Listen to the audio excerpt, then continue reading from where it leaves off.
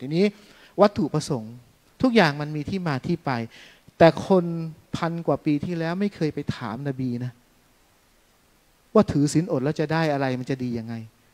นบีบอกว่านี่คือคำสั่งใช้กุติบะอะไรกุมุสียมุกามากุติบะอัลลดีนมิงกอบหรือกุม บัญญัติของการถือศีลอด ถูกบัญญัติใช้เหมือนกับคนหน้าก่อนหน้าเจ้ามาแล้วนะครับ วิทยาศาสตร์การแพทย์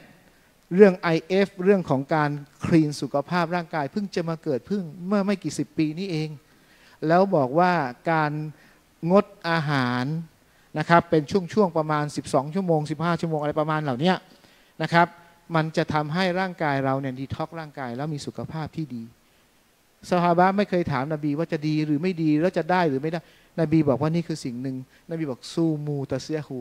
ถือศีลหดแล้วจะสุขภาพดี ไม่ต้องมีงานวิจัย ไม่ต้องมีหลักฐานวิทยาศาสตร์มารองรับ แต่ด้วยความศรัทธาและมั่นใจในพระเจ้าจึงทำได้และผลดีเกิดขึ้นกับใคร เกิดขึ้นกับตัวผู้ปฏิบัติเอง เช่นเดียวกันในละหมาดนี่ก็เหมือนกันนะครับ วัตถุประสงค์ที่ให้มีหรือบัญญัติสิ่งเหล่านี้ อันที่หนึ่งเพื่อยืนยันความศรัทธาที่มนุษย์มีกับพระเจ้า ไม่ต้องอะไรมากนะครับ ถ้าเราบอกว่าเรา เชื่อฟังพ่อแม่เรา เรารักพ่อแม่เรา ตอนที่เราจะเข้ามาเรียนในกรุงเทพแม่บอกว่าดูแลตัวเองดี ๆ นะลูกนะแล้วก็อย่าไปยุ่งกับยาเสพติดอะไรต่างๆเนี่ยนะเราก็รับปากพ่อเราแม่เรามา แล้วพอมาอยู่ใช้ชีวิตสัมมาเลเทเมาไม่เคยนึกถึงเนี่ย ถามว่าความรักเนี่ยมันใช่ไหมอะมันไม่น่าจะใช่นะ ฉันใดก็ฉันนั้นนะครับ เวลาที่เราบอกว่าเรารักอัลลอฮ์สิ่งที่จะยืนยันให้เห็นก็คือเราทำหน้าที่มุสลิมที่ดี และที่ง่ายที่สุดก็คือการรักษาการละหมาดหรือรักษาเวลาละหมาด อันที่สองแสดงความกตัญญูต่ออัลลอฮ์ที่บอกว่ามีคนที่มีบุญคุณกับเรา แน่นอนมนุษย์ก็ขอบคุณ แล้วอัลลอฮ์มีบุญคุณกับเราเยอะแยะมากมาย การที่เราจะก้มกราบพระองค์เพื่อแสดงการขอบคุณเป็นเรื่องของอสามัญสำนึกง่าย ๆ บอกถึงความกตัญญู ในทางกลับกันถ้า